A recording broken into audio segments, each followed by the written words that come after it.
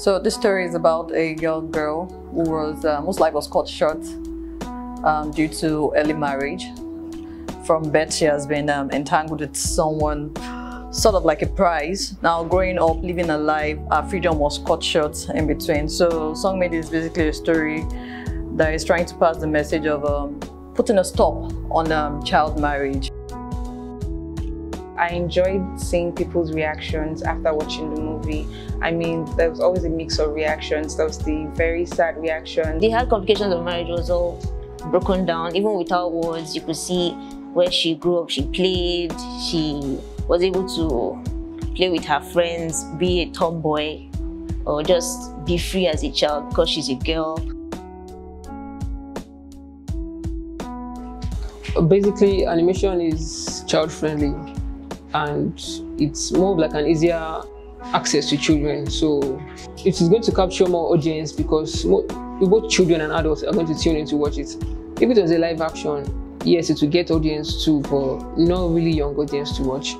So depicting a true life story, something that's sad in animation, is something everybody will be able to not relate to but understand and see the dangers in child marriage and also the implications it has what we wanted to do was to capture an emotional angle to this story, something that resonates with the key message itself, such that we capture the the the essence in the sense that uh, people who are facing this situation will see some likeness to it and that was the part that I was really really keen on working on and then that was what we did. It was a very interesting project looking at the fact that we had to deliver in such a short notice. So it was a small team and then sometimes it was not just me just doing story, it was me doubling with the animation themselves to see how I could help, working with project management. No, you had to wear many hats to make sure that yes, the result we wanted happened. And because it was a small team, no one was just wearing one cap. Everybody was doing everything at the same time. And I enjoyed the process. It was a lot of work, it was a lot of commitment, it was a lot of dedication, but it was worth it at the end. Actually, it happened when we went on this tour. That was back then, 2016 and we discovered the place, we heard the news about what was going on there and everything. That was where we got the story initially from.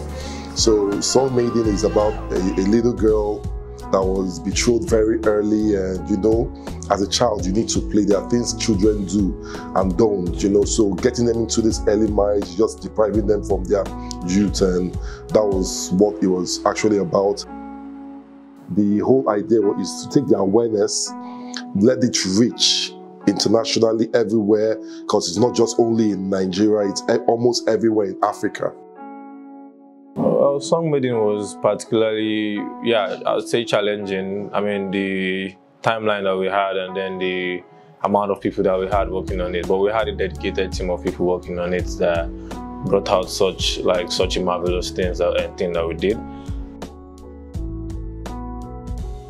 The interesting thing about Song Maiden was the, the team bonding, the way we could come together and actually um, integrate well with one another to be able to create um, Song Maiden. It was it was amazing. The the level of dedication that we had on the team was was something that was actually really really interesting.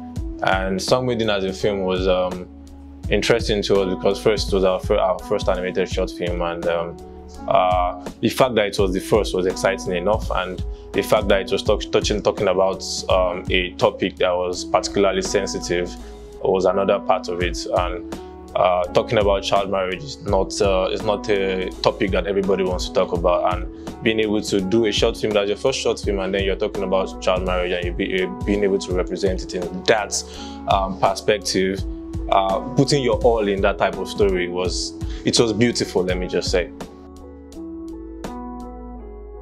I think I, I feel the animation will pass the message to the right audience because it's not just a story.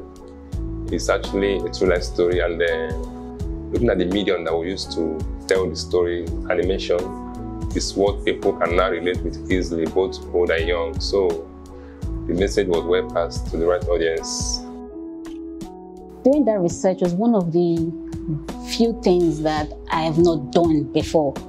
So it was it was um, interesting. It was inspiring. It was you know it made me know how to navigate things and how to research on them.